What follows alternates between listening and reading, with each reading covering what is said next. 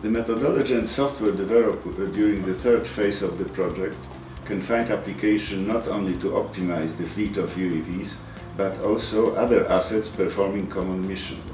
Now we are seeking application of our software in industry and in other fields. In the first phase, the demonstration team introduced new modifications to fixed-wing UAVs, which enhanced live video transmission and the range of efficient fleet operations. We improved the flight characteristics and the hardware on board.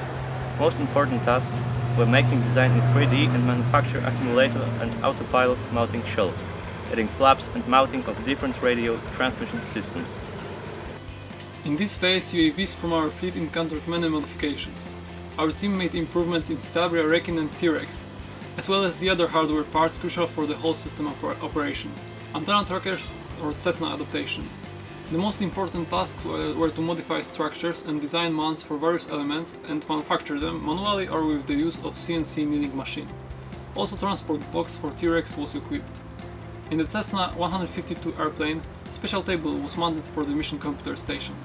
In the third phase, the demonstration group improved demonstration hardware. The biggest uh, modification was to put the console into the air. The whole demonstration software was modified, especially the communication.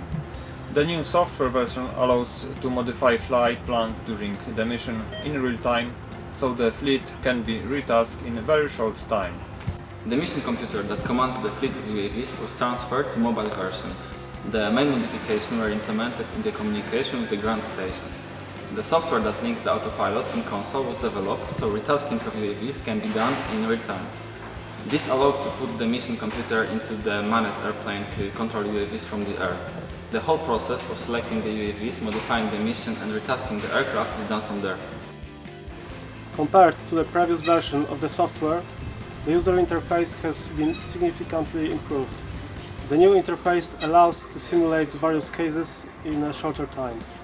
The MIP optimization method has been integrated with lawnmower trajectory to optimize fleet for large mission zones in a very efficient manner. Mission parameters changes now can be done easily.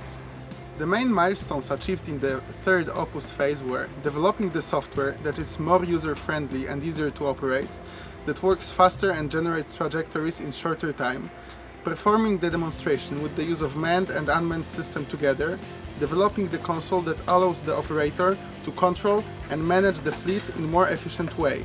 The mission computer was modified into the mobile version that allows to retask the fleet in real time. The results of the project may find application to optimize operation not only the fleet of UAVs but also other assets.